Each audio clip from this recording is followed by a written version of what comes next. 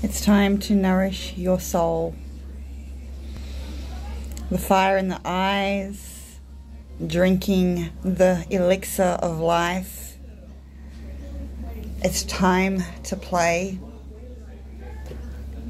It's time to follow your dreams and to make them a reality. As my son just said, he's not joking.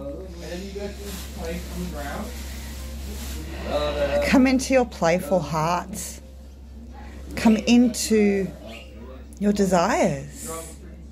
It's okay.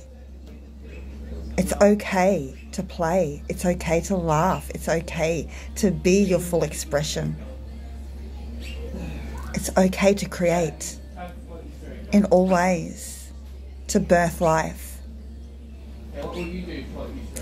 What are you going to birth into life? What do you want to create?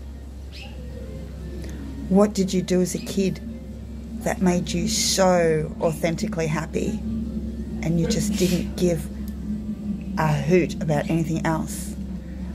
You were just in your pure pleasure, your pure joy, your pure inner child. It's time to play. It's time to let go. It's time to open your wings and expand and fly. Coming home to you.